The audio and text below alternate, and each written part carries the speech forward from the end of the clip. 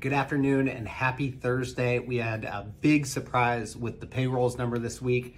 Uh, and inflation surprises everyone yet again, although I don't, uh, I don't know that it's as much of a surprise. Uh, my name is Brandon Steele, financial advisor with Mainsail Financial Group here in Bellevue.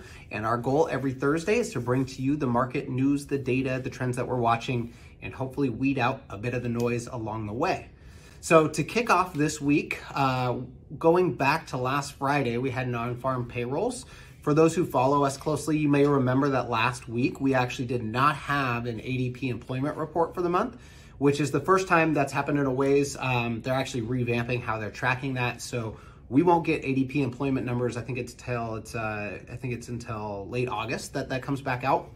So this was the first glimpse at really the jobs uh, for the month of, of June. And non-farm payrolls on Friday were actually great. It was a huge surprise. It was about 372,000 jobs added uh, versus expectations of around 250. So very, very good news. Um, about in line, I believe, with last month. So not like a, a huge jump necessarily, but there was a lot of concerns about the jobs market here this month. And uh, yet again, uh, the jobs market showed that it's uh, it's still kicking. So that was a good surprise. Uh, fast forward to I believe it was Tuesday, and we had the inflation number come out. Um, probably no surprise to you that uh, this was not much of a shock from our perspective, but it did take the uh, the markets by shock a little bit. We saw another huge number. It was 9.1% on the CPI. Um, it was up about 0.7% in the last month here. So, you know, we've been talking about inflation for a long, long time. We've been talking about how it's not just a supply chain issue, it's also a money supply issue, and that we don't really see this slowing down for, for a while. And here we are again with another sign that it hasn't even slowed, let alone slowing. So that number was was very big, and I think the the markets were a little surprised by it. Plus, it obviously opened the door to conversations about the Fed potentially raising rates by 100 basis points in the next meeting as opposed to 75. So, in other words, a whole percent in the coming meeting.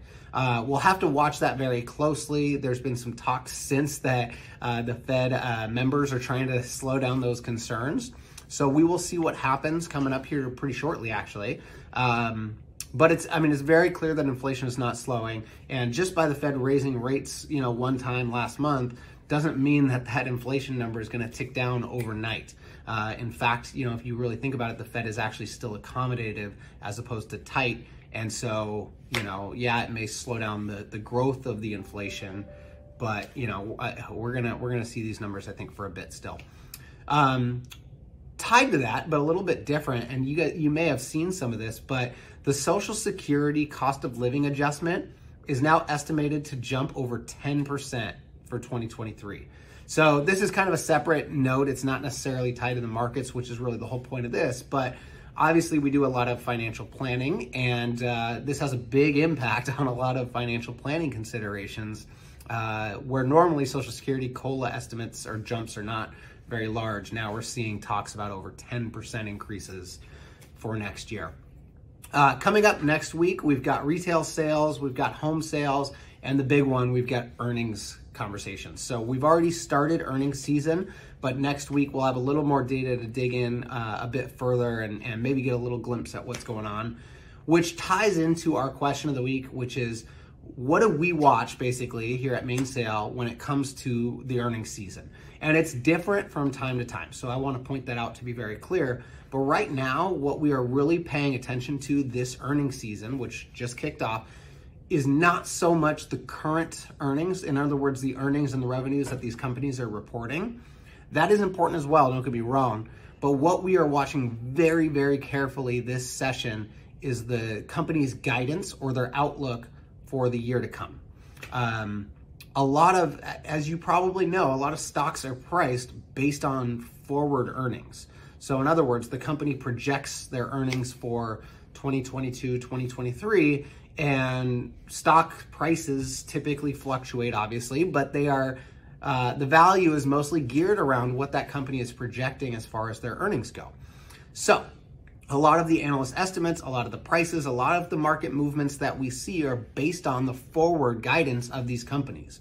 Now, that's all been well and good for the most part leading up to this current earnings season. And what we are watching very, very closely is with inflation, with interest rates, with all these different factors at work, are these companies going to stick to an optimistic uh, outlook for the year moving forward, or are we going to start to see them pull back a little bit on their uh, their expectations? So that is very very important to watch, and I think of like all the times I can remember this earnings season. I think is going to be extremely extremely important to watch that particular uh, aspect of it. So I hope that helps. Uh, again, this is maybe a little bit shorter on the data side of it, but uh, we've got a lot to cover next week. So definitely tune in next Thursday at 3 p.m. In the meantime, enjoy your summer and the sunshine that's finally uh, hitting us here in the Pacific Northwest. We'll see you next Thursday at 3. And as always, if you have any questions for us, please do uh, leave it in the comments, reach out to me directly, and uh, we'd be more than happy to try and answer your question in our weekly update. Thanks so much. Have a great upcoming weekend, and we will see you next Thursday at 3.